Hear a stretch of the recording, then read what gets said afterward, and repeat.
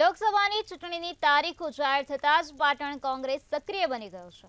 પાટણ જિલ્લા કોંગ્રેસની પ્રથમ કારોબારીની બેઠક મળી હતી, જેમાં કોંગ્રેસ જિલ્લા પ્રમુખ થેમર દેસાઈના અધ્યક્ષસ્થાને પ્રથમ કારોબારીની બેઠક યોજાઈ હતી.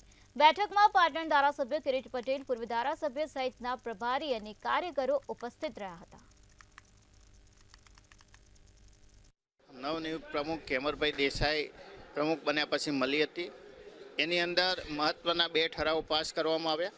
પહેલો ઠરાવ કે રાહુલજીએ દેશના યુવાનો માટે, બેરોજગારો માટે, મહિલાઓ માટે, કિસાનો માટે અને આર્થિક રીતે પસાર તમામ સમાજના એસસી, એસટી લોકો માટે જે વચનો આપ્યા છે એ વચનો લોકોના ઘર ઘર સુધી પહોંચાડવાના. અને બીજું, કોંગ્રેસનો જે પણ ઉમેદવાર પાર્ટી જાહેર કરે એ ઉમેદવારને કોઈપણ પ્રકારના વાદ વિવાદ વિના જીતાડવાના.